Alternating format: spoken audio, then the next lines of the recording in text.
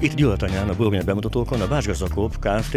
már régen jelen van, rendszeresnek mondható az itt lét. Szerintem 8. alkalommal vagy 9. alkalommal vagyunk itt.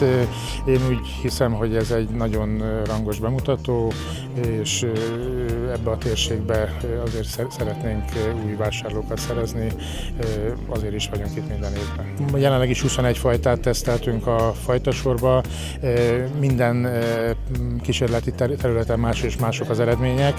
Ugye ezt általában olyan október elejére kapjuk meg a mi kis kunalasi burgonya napunkra, szoktuk megkapni a kísérleti helyek eredményeit.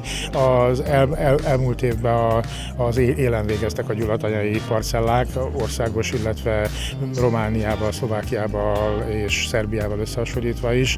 Egy nagy, nagy, nagyon komoly tápanyag támogatást kapott az itteni kísérleti sor azt szokták mondani, hogy tulajdonképpen több minden kell a termesztéshez, hogy eredményes legyen. Kell egy jó fajta elsősorban, és utána a többit át a, a víz, a tápanyag. A jó fajtákat tekintve mit tud kínálni a básgazakó? Hát mi az elmúlt 23 évben arra törekedtünk, hogy a lehető legnagyobb fajta választékot kínáljunk a partnereinknek.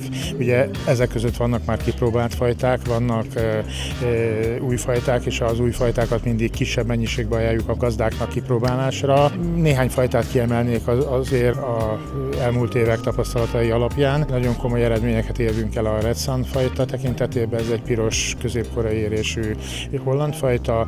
A korai fajták közül a Krisztina, a Louisiana e, és a Celtiana e, fajta emelhető ki. Itt a bemutatón is nagyon szép képet mutatnak.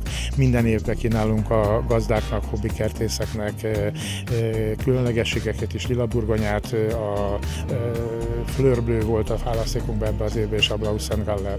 A termelők hogyan igazolják vissza ezeket a folyamatokat, tehát az új fajtákat ők mennyire fogadják szívesen?